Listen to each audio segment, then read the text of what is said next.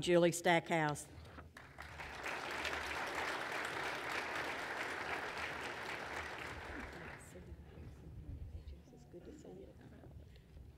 All right, so this is where we're going to make sure the mic works. Yes, thank you. Not sure about this clicker, got a little worried there. Yeah. We'll see how, so you guys have gotten a ton on risk and banking from Candace and Christy, so thank you for that. And I guess Chris Lowers, Chris, are you in the room? Let's see, Chris, is going to tell you all about the Federal Reserve, right? And interest rates, so I guess I don't have to do that. So that's going to leave me with a different topic. I'm going to be your futurist today. You ready for that? Yeah. And I had a lot of help with this, so I think you'll enjoy it. So let's go back. This clicker will work. Okay, maybe in the back of the room you can, there we go. Let's go back to the last time I was able to be here and speak to you, which was in 2015. I think I'm on the four year rotation. Candace, yeah. the, the problem with the four year rotation is this might be the last one, you never know. so, but I was back here in May 7th of 2015 and I made four bold predictions. The first one was the trend in consolidation will continue, but at a slow and steady pace. And then I boldly predicted that community banks, especially in metropolitan areas, would be somewhat larger. Then I'd said successful community banks will do a better job of integrating technology in order to offer a full array of services to their customers. And finally, that the future looked bright for those community banks that are strategic and able to address the challenges successfully. So very bold predictions, right? Okay, quick hand poll. How many think that I was right on all accounts? I don't see every hand in the room. Okay. I know it's bankers, right? I'm not going to put all my eggs in one basket, especially with a regulator. I'm going to play it by ear on this one. Well, let's take a look at what really happened. Maybe take a look at what really happened. There we go. There we go. So, as Candace showed you, and I'm showing you a different perspective, yes, consolidation has continued. What I think is interesting is that consolidation in Arkansas is really about the level of consolidation that we're seeing across the country. And so you think about it, it happens slowly, you hear about it, but don't really maybe pay too much attention to it unless it happens to affect your market. And yet, then you look at this period of really five, six years and you go, wow, that is really a significant change. Now, both Candace and Christy talked about de novo banks. I'm going to be the naysayer here and say I don't think we're going to see a ton of them. And the reason is for the point I'll get into in the future, which is I'm hearing more and more from bankers saying, not so much the physical presence anymore, it's providing the services and leveraging technology to do so. So, yes, I was right on that point. Consolidation has continued, and I'm willing to predict to you today that we'll continue to see that over the course of the upcoming years. Of course, the other part of the equation, maybe, okay, was our bank sizes increasing. So, Candace, you talked about the level of assets supervised by the state of Arkansas Banking Department. This one just looks at it differently to say, how big is the average bank? And it's bigger. And I think you guys all know that. As consolidation occurs, obviously, the uh, size of the resulting institution is going to be larger. We see it in the banks we supervise. Many institutions are becoming more sophisticated in their operations, and here in Arkansas, they're going out of state as well. That really hit home in St. Louis this last week when the Simmons deal of Reliance Bank closed. Reliance Bank was a big bank in the St. Louis area. Now Simmons will have a very big presence in the St. Louis area. So the other thing that's occurred that I don't think you've missed, but it's good to talk about it from a perspective standpoint, is the fact that at least two large regionals have gotten back in the merger and acquisition game. So there was a drought following the financial crisis where you did not see acquisitions by large institutions or more than that, mergers of large institutions. And so, you know, you sit there and you scratch your head and you say, wow, is that going to make sense? And quite honestly, what we've seen from a regulatory standpoint is those are tough. When you have two large institutions and you're trying to integrate not just operations but culture, it's a challenge. You have to put a lot of management time and attention. And I've even read a little bit about some saying, well, here we are creating another mega giant. And that's the point that I really want to bring some perspective to, because if you look at that particular merger and you look at it relative to the really big banking organizations in the US, it's still a pretty small banking organization. Not small, small, but relatively speaking, not up there with the JP Morgan Chase, the Citis, and the others. The other piece, though, that I think is important to keep in mind is the world. So if we look at where these organizations fit relative to the world, this is really not working well. I'm hoping that our support in the back can find a way to make this move, thank you, is that even the largest banking organizations in the US are small by world standards. Now, we could quibble a little bit and say, yeah, should the China banks be on there at all? they're government controlled, maybe that's not a really good comparison. But from the standpoint of what banking organizations in the US, these global SIFIs, look to, they're saying we're relatively small compared to the world. So there's a lot of context here that is important to remember. And certainly as we look at the growth of banking organizations and at their comparative uh, setting within the world environment, we see the US is not ahead in this particular metric. Okay. This, though, I think is intriguing, and it's what I want to spend a lot of my time on today, which is where is technology putting banking?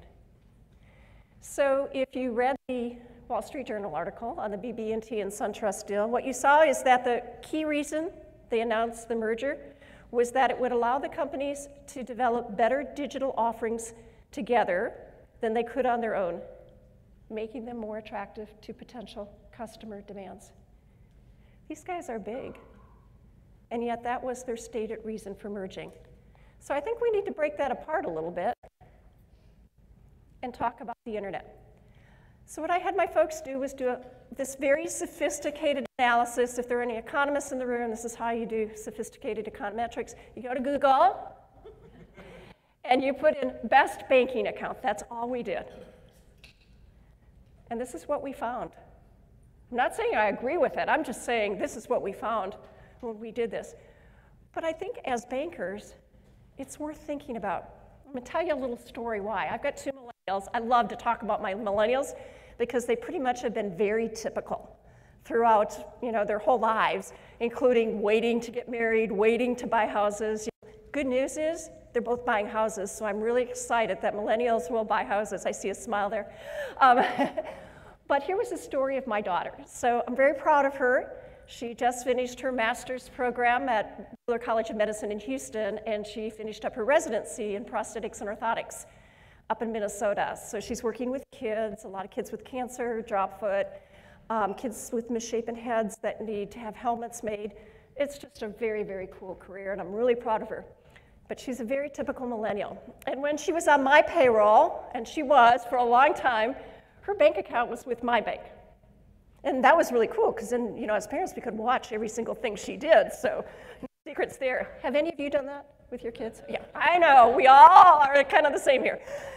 But, you know, she's now on her own, got off my health insurance as of last week. That was sort of the last piece.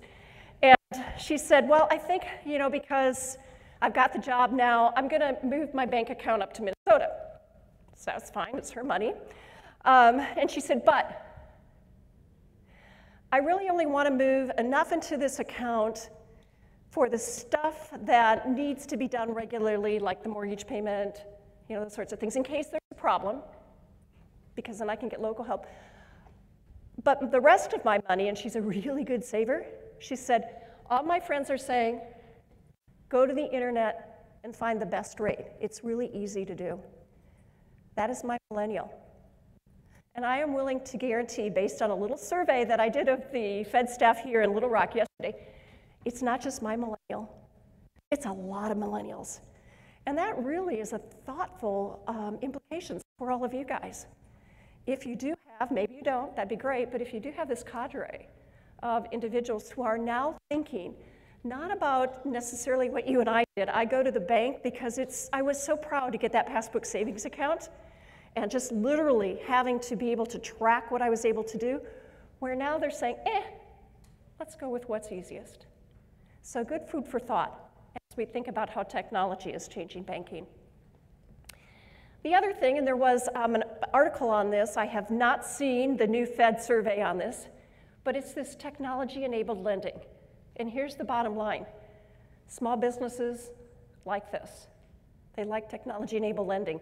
Now, it used to be that we would see um, just the lending clubs and those sort of big names out there sitting on the internet, but this is changing very rapidly. So, one way to think about it is the Square example. So, anybody heard of Square? Like your small businesses all use it for payments, right? Maybe a lot. Well, Square is a creation of, well, the real uh, thought behind it came from a guy named Jim McKelvey. He's on our head office board of directors. And Jim was a hot glass blower while he was a student at Washington University in St. Louis. He had a very big piece of glass. It was worth about $2,000, and he had a buyer for that piece of glass. But the buyer only had a card. And this glass factory only took cash and checks.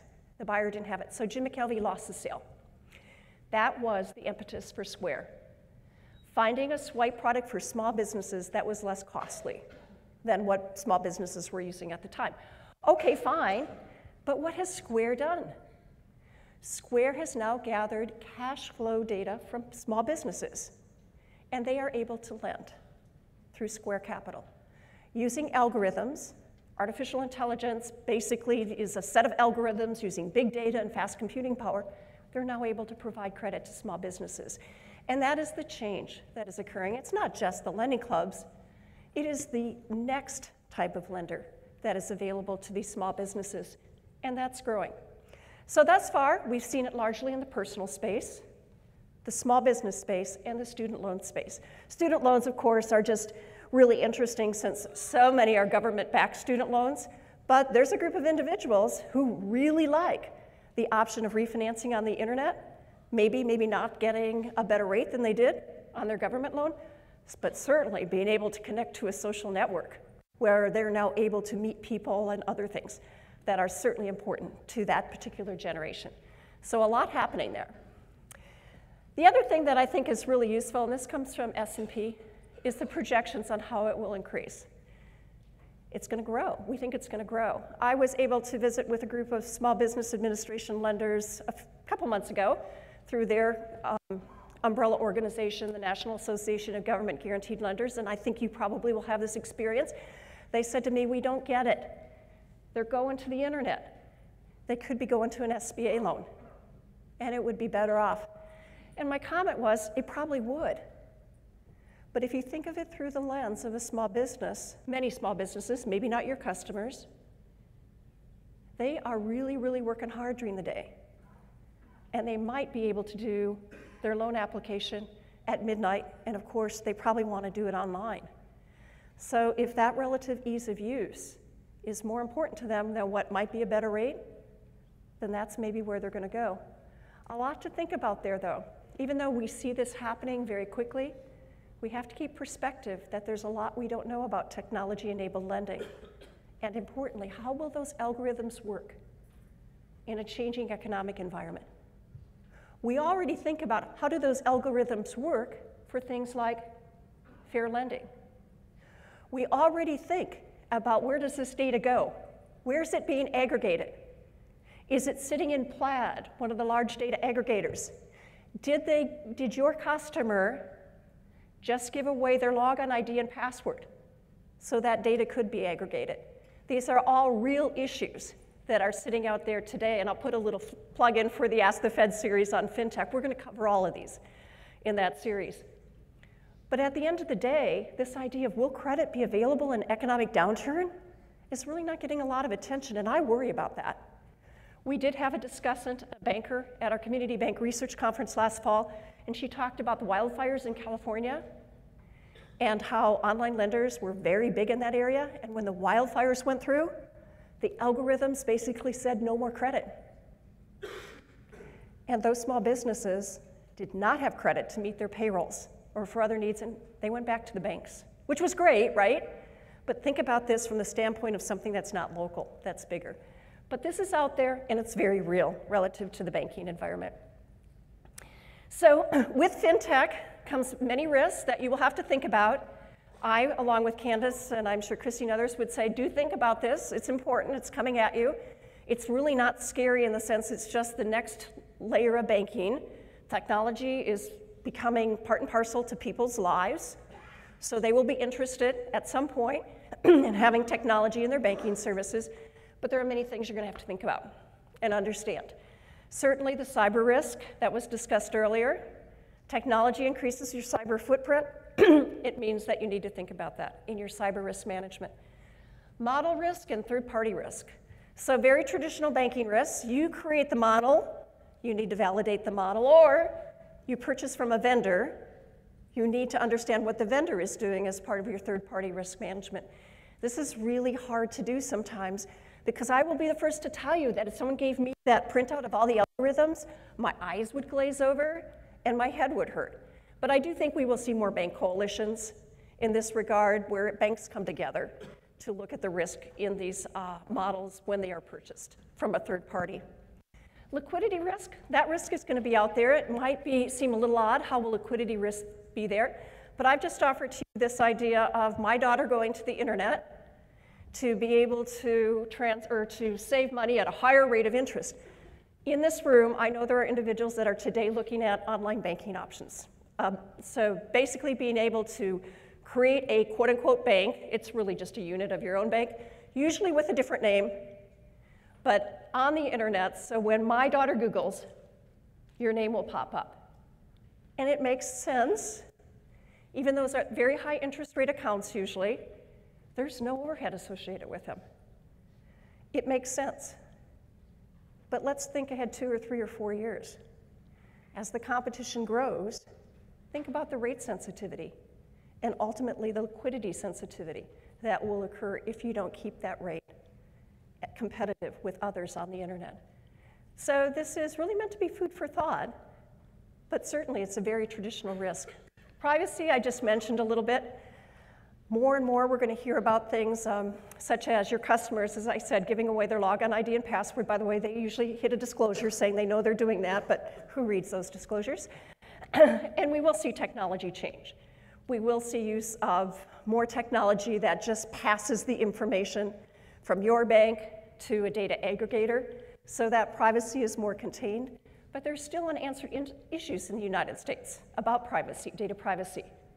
Do we need a GDPR like law in the United States, where individuals are better able to control what is kept by others relative to their information, and greater clarity in how does it go away. All too often, individuals are willing to give their login ID and password, but not ask the question if I don't use this service anymore, where does my information go? So I do think that will be one of those ongoing risks.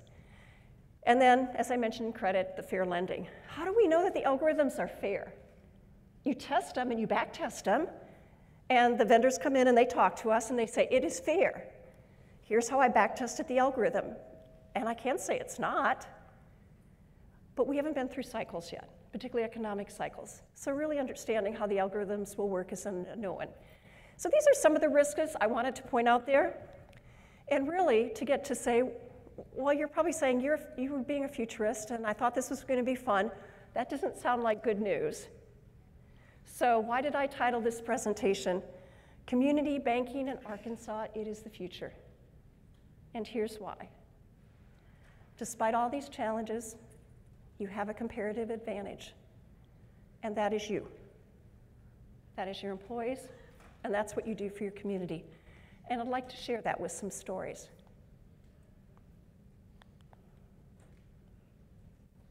Ah. First of all, we talked about bank mergers and what they're doing. But here in Arkansas, it looks different. As we see mergers occurring in many states, banking is being purchased by out of state entities. In Arkansas, you have the reverse. You are buying your partners.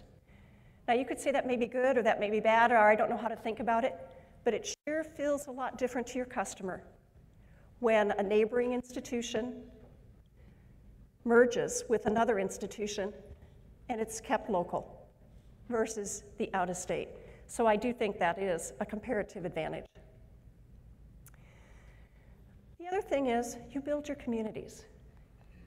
And I think the best way to talk about how you build your communities is to hear it from some folks in the room. So where's Gary? Okay, let's hear what Gary has to say. Service is their number one, uh, number one attribute. Uh, quality service service that our customers look for. Um, you know, there's, you hear people that rate shop all the time. Uh, typically in our customers, rate doesn't come up to the fourth or fifth question if it comes up at all. They are wondering if we think this is a good move for them personally and for their business. Uh, is this something I should do or is this something I should stay away from? They ask advice and, and we hopefully we can give them good advice and they'll come back. Yeah, you are the advisor to your communities. How powerful is that? It's tough to get on the internet. All right, Marnie. Let's see what Marnie has to say.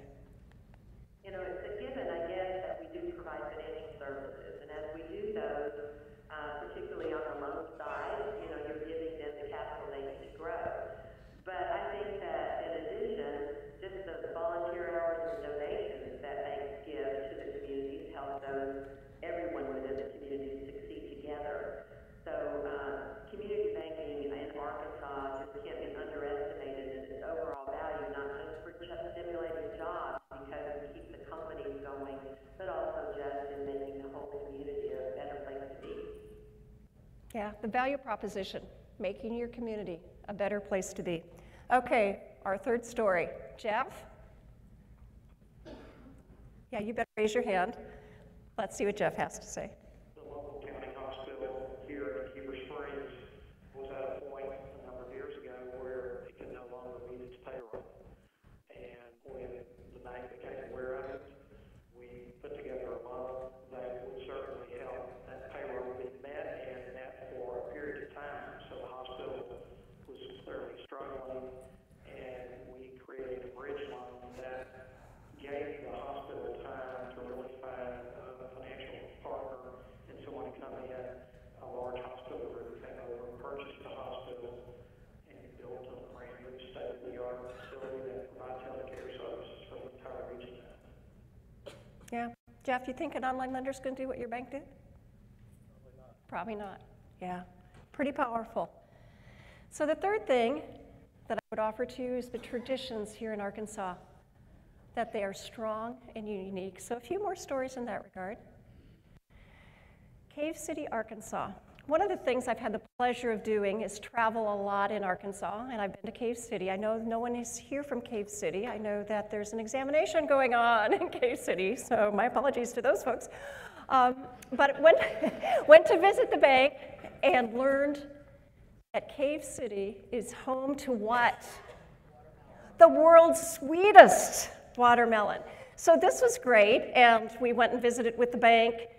Um, they were new member bank, talked about the Fed membership and all that sort of stuff. And at the end of it, we're presented with a platter of the world's sweetest watermelon. So I like watermelon, but you know, first my first thought was, can we do this? We have these limits on how much you know we can. anyway, got over that quickly, and it really enjoyed it. Really, really enjoyed it. At the time, I was traveling with Dennis Blaze, who is now retired. Anybody know, remember Dennis Blaze? Yeah, people are like, oh yeah, that guy. So the way that we worked this out in our travels was really cool. Dennis drove, and I worked. Right? Good, good uh, delegation of duties. He could drive, I could work. So we left Cave City, and we're driving down the road, and I'm on the phone talking to someone, and there is a watermelon stand. Right? So I'm like, Pull in there! And sure enough, he did the hard right turn. We pulled into the watermelon stand. We selected two of Cave City's finest watermelon, you know, the old you knock on it and you get that hollow sound. And because we had our own car and we wanted to be very careful, we took those watermelons and we buckled them in the back seat in their own seat belts, drove them back to St. Louis and shared them with everyone. And what a great memory of the town of Cave City. Of course, there are other stories out there. Where's my Centennial Bank, folks? I know there's got to be someone here from Centennial. Well, they're not going to raise their hand anyway. So, in our outreach program, some of you may be aware of them. From time to time, we go to banks and we do webinar programs. My uh, gift, I guess if you could term it such, I called it my host gift, was to give my skill of, I think, skill of doing stained glass. I'm really proud of being able to do stained glass, and I love to give it away, give it away to charitable events. I don't really keep any of it. So when we Googled Conway, of course, what we find as really one of the hallmarks of Conway, Arkansas. Toad Suck Days. Okay, so anyone know why Toad Suck Days exists? You're not going to raise your hand. I just want to do a little lesson here so you know about Toad Suck because this is kind of cool.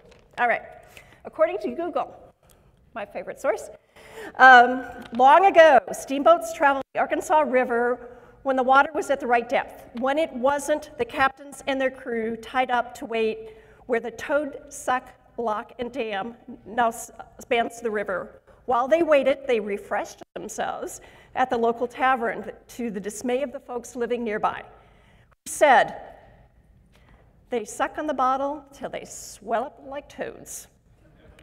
Hence the name Toad Suck. So now you all know that, and another legacy of Arkansas. And finally, Citizens Bank of Batesville. So this story is a Dennis Blaze story, and it goes something like this, but I think it talks about these incredible strong community connections that you have. So the story goes that our examiners back in the day, we're talking about doing electronic exams now. Well, back in the day, we did surprise exams, right? You didn't get any word of it till our folks showed up. Well, back in the day, our examiners went to this bank, and the president said, Well, I've been expecting you. So that was a little puzzling. This was a surprise exam. The next sentence was, My brother is the owner of the motel in town. And when you all booked your rooms in the motel, he let me know. So that is Arkansas. it's great. It's great. We learn a lot from you about that strength of those relationships. So, the other thing that I think is what you do for your communities. These are all the places I've been in Arkansas over the years, and what I want to do is show you in these communities who you are by what you have put on your social media.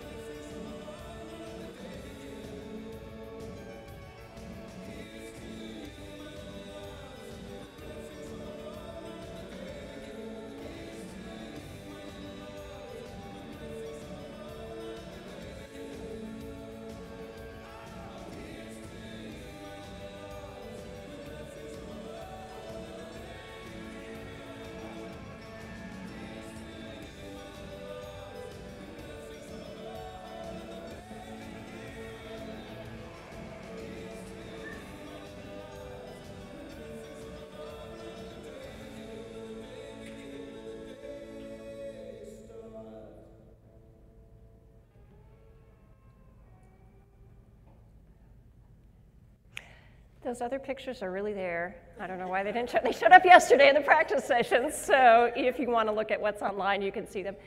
This is you. This is what you're showing the public. And isn't that powerful? To be able to see what you're able to do through the relationships in your community. I don't know how an online lender will compete with that. You, with, with what you bring in your legacies. I did intentionally include Rennie Rutledge there, who I understand is not showing up for the panel on the next session because he's ill today. But the fact that we have family legacies yet in Arkansas is very powerful. I'm very convinced that Arkansas will weather these changes ahead. And I think this says it all a bold past, a bright future. So, congratulations to all of you for being what you are to your communities and being the future of Arkansas.